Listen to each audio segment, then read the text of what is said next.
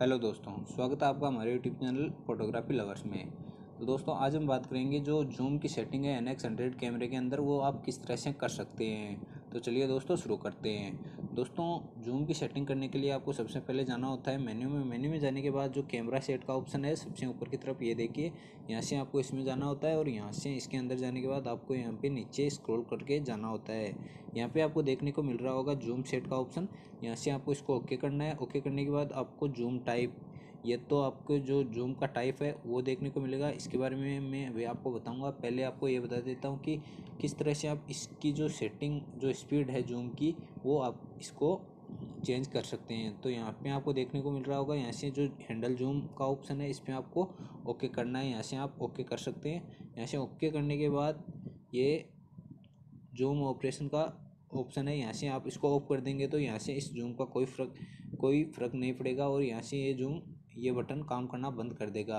अगर यहाँ से मैं इसको ऑन कर देता हूँ तो ये बटन काम करना शुरू हो जाता है। ये देखिए धीरे धीरे यहाँ पे जूम होता हुआ आप देख सकते हैं, जैसा कि मैंने यहाँ पे इस बटन को दबाया तो। ये देखिए, और यहाँ से अगर आप इसकी जूम स्पीड की बात करें तो यहाँ से जूम स्पीड में आपको ये मैंने इसको तीन पे कर रखा है। यहाँ से आप इसको कम कर सकते हैं। ये देखिए, कितना स्लो हो गया है, और यहाँ से आप इसको बढ़ा भी सकते हैं, जैसा कि ये आठ तक जाता है तो यहाँ से आठ के लिए ये देखिए कितनी फास्टली ये मूव कर रहा है। ये देखिए, यहाँ से आप इसको कम या ज़्यादा कर सकते हैं, लेकिन दोस्तों इसमें यह नुकसान ये है कि इसको एक बार आप जैसे ही प्रेस करते हैं तो ये उसी स्पीड में काम करता है, जिस स्पीड में आपने इसको सेट कर रखा है। इस बटन इस जूम वाले बटन की तरह काम नहीं करता कि इसको आपने कम प्रेस किया तो ये स्लो जूम करेगा या फास्ट प्रेस किया तो ये ज़्यादा जूम करेगा। इसमें तो ये बस फिक्स रहता है कि किस तरह से आपको इसको जूम करना है। जो ये स्पीड रहती है, उसी हिसाब से ये जूम करता है। जैसा कि मैंने इसको तीन नंबर पे सेट कर रखा था तो मैंने वापस से इसको तीन पे सेट कर दिया है। इसके बाद दोस्तों, ये जूम टाइप है। जूम टाइप आपको देखने को मिलता है, जैसा कि आप नया कैमरा लेके आते हैं या रीस्टे सेट करते हैं तो आपको ये ऑप्टिकल जूम ओनली देखने को मिलता है।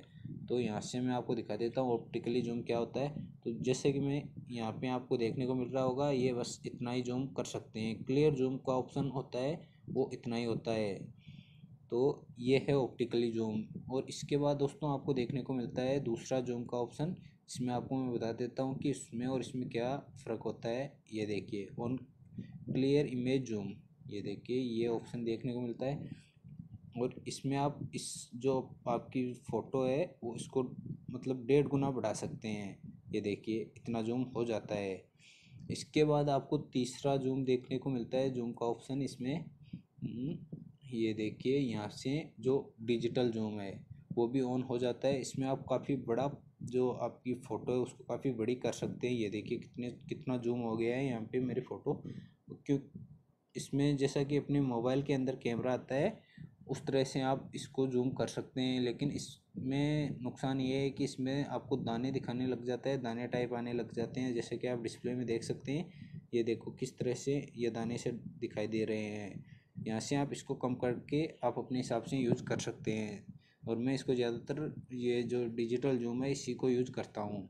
तो दोस्तों, ये वीडियो आपको कैसी लगी और जानकारी कैसी लगी, हमें कमेंट करके ज़रूर बताएँ। और अगर वीडियो अच्छा लगा तो चैनल को सब्सक्राइब कीजिए, वीडियो को लाइक कीजिए। थैंक यू दोस्तों।